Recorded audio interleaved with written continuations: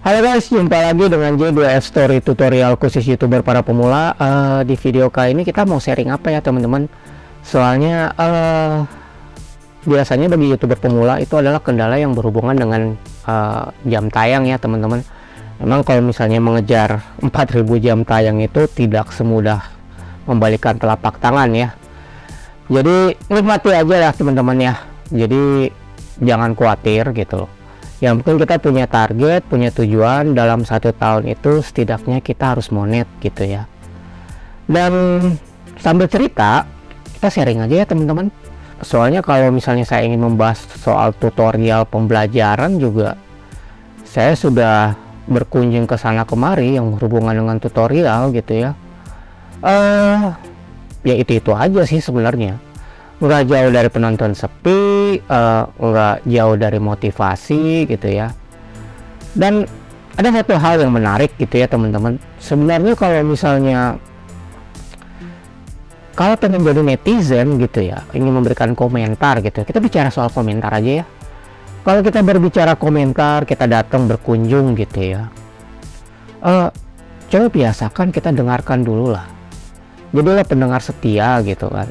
Karena jika kalian ingin didengarkan gitu lah uh, alangkah baiknya jadilah pendengar setia terlebih dahulu gitu ya teman-teman. Uh, apa pun yang mereka katakan gitu ya uh, ambil yang positifnya tinggalkan yang negatif. Itu uh, bahasa yang selalu digunakan oleh para tutorial ya. Uh, itu gitu yang berhubungan dengan YouTube lah tentunya bagi para konten kreator pasti tahu gitu apa yang harus uh, mereka lakukan gitu ya. Kalau misalnya untuk memberikan tanggapan atau ingin memberikan jawaban kepada netizen melalui komentar-komentar yang ada gitu ya. Saya juga sebagai konten kreator walaupun saya belum monetisasi gitu tapi saya enjoy aja gitu. Kalau memang penonton memang lagi sepi ya sepi gitu kan. Kalau misalnya lagi rame ya rame gitu kan. Itu kan kata orang.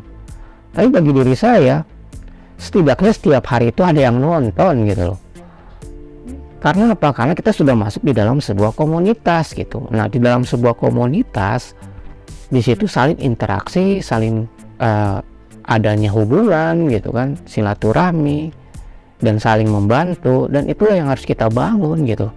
Jadi santai aja ya teman-teman kita. Jadi saya juga beberapa hari ini memang lagi kurang enak badan gitu ya. Jadi untuk buat konten pun sebenarnya setengah-setengah hati gitu ya. Cuman karena ya harus konsisten gitu. Artinya masa saya sudah menjelaskan ke teman-teman semua pokoknya harus konsisten ya upload video gitu kan.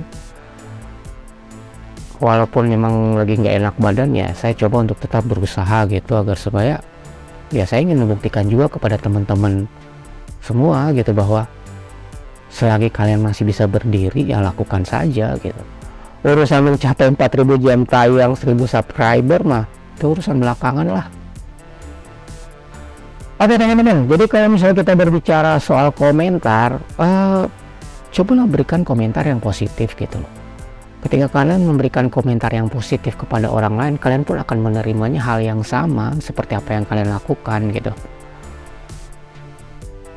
Karena saya yakin tidak semua orang yang datang ke YouTube itu penonton organik paling rata-rata teman-teman konten kreator juga saling tonton gitu kan. Andai pun ada penonton organik juga mungkin ya berapa persen gitu.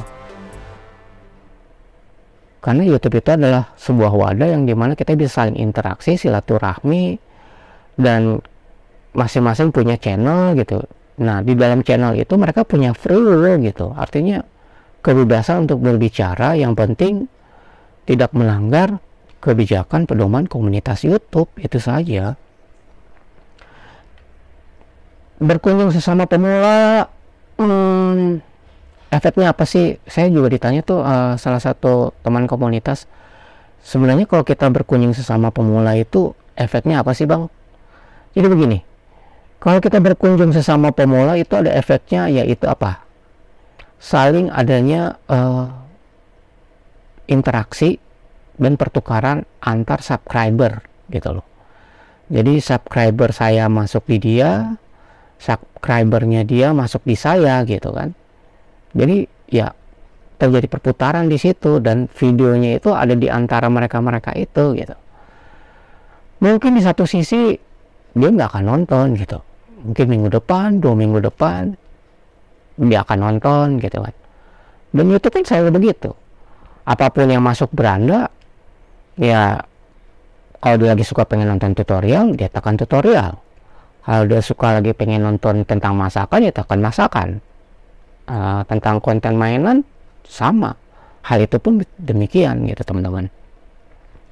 Jadi efeknya di situ gitu. Kalau misalnya kita memang tidak mau saling kunjung antar uh, sesama youtuber pemula gitu. Sebenarnya rugi di kita? Untung di YouTube gitu loh. Jadi kalau justru kita nggak menyebar ke mana-mana gitu loh. Nggak mau bergaul gitu dengan youtuber pemula gitu. Dan kita juga nggak mau saling berkunjung gitu. Ya itu repot. Yang untung tuh YouTube. Karena apa? Ya artinya ketika kalian ingin membangun fondasi itu untuk menjangkau lebih luas entah dia mau berkunjung balik atau tidak hal itu jangan dipikirkan. Karena apa? Karena minat penonton itu kan selalu berubah-ubah.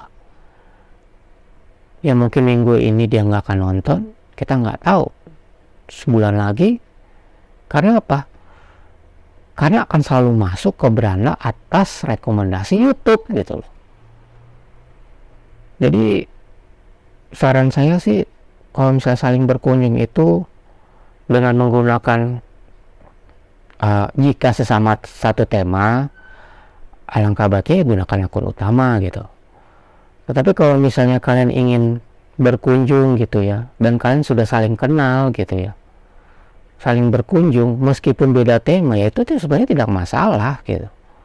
Berkunjung saja. Cuma mengantisipasikan kerikil-kerikil tajam yang berada di antara kita kan gitu. Jadi ya alangkah baiknya masuklah di dalam dunia komunitas. Karena kalau kita sudah masuk di dalam komunitas, kita akan tahu gitu karena saling komunikasi kan saling bertemu gitu dalam uh, kolaborasi video dan akhirnya kita akan saling mengenal gitu walaupun kau di sana aku di sini gitu teman-teman jadi komentar itu baik saling berkunjung itu juga baik. Antar sesama uh, youtuber pemula juga itu baik. Gitu channel-channel yang sudah monetisasi juga berkunjung ke youtuber pemula juga nggak masalah sebenarnya. Karena apa? Karena untuk membangkitkan semangat semangat mereka mereka itu kan itu sangat-sangat diperlukan. Bang Insan Twitter juga pernah datang ke channel saya.